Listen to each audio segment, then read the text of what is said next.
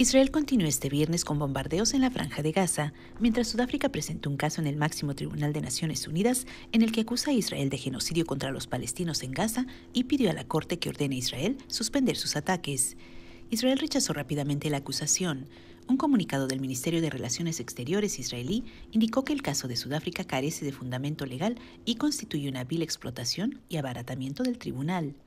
El escrito presentado por Sudáfrica ante la Corte Internacional de Justicia alega que los actos y omisiones de Israel son de carácter genocida, ya que se cometen con la intención de destruir a los palestinos de Gaza como parte del grupo nacional, racial y étnico palestino más amplio. Sudáfrica ha sido un abierto opositor de la campaña militar de Israel en Gaza. Muchos ahí, incluido el presidente Cyril Ramaphosa, han comparado las políticas de Israel con respecto a los palestinos en Gaza y Cisjordania con el pasado régimen de segregación racial del apartheid de Sudáfrica. Sudáfrica también pidió al tribunal con sede en La Haya que dicte una orden provisional para que Israel suspenda inmediatamente sus operaciones militares en Gaza.